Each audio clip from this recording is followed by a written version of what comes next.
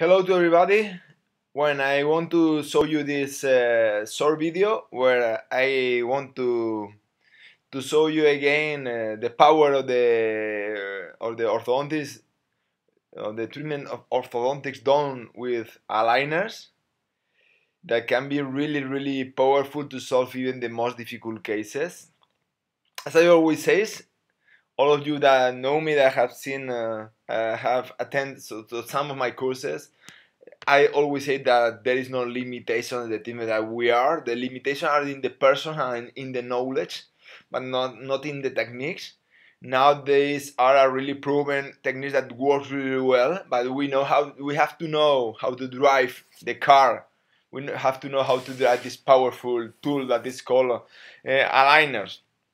And for sure, that with a good training and studying a lot, you can you can get amazing results. Let's see this case where you are going to see look at the midline deviation that has this patient. The upper midline is deviated to the right, as you can see here, and what we find, look at the class 2 uh, that we have in the left side, almost a full class 2.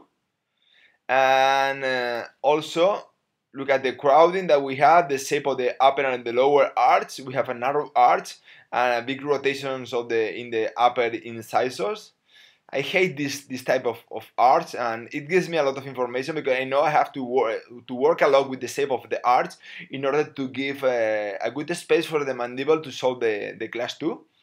Also, if we analyze the, the 3D models, uh, that 3D models are taken with the scan that I use in my office, the iTero 2. And also, if you see in the left side, you can see the class uh, 2, a full class 2, and also the crossbite that I have in the first uh, molar in the left side. So we have uh, vertical problems because we have a deep bite, we have a transversal problem with problems in the shape of the upper and lower arch, and we have uh, the sagittal problems uh, in the class 2 that we see in the in this patient okay? We analyze look at the crossbite that we have here. And another important thing that we have to analyze that we don't have overjet to solve the class 2 in this moment okay? Look at here we don't have overjet to solve the sever class 2 uh, that we have here okay? We analyze the problems crossbite class 2 no overjet okay this is the problem that we have and this is the thing that we have to solve. Okay we have to analyze the overjet in order to planify a good uh, treatment plan to solve it. How do we have to, to planify with the techniques and the way we are going to solve the transversal problems? And to solve the class 2 at the end I will use a mini screw that you see here.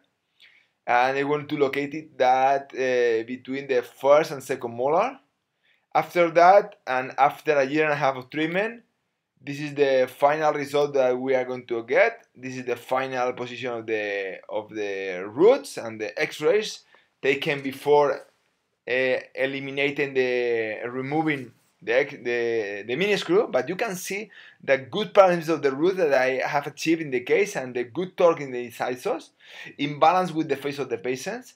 And this is the final result of the case with a perfect engagement. We center the midlines.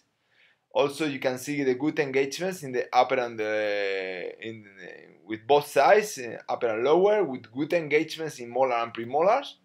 The shape of the upper and lower arch is beautiful. I, I move from a triangular shape of the arch to a parabolic shape.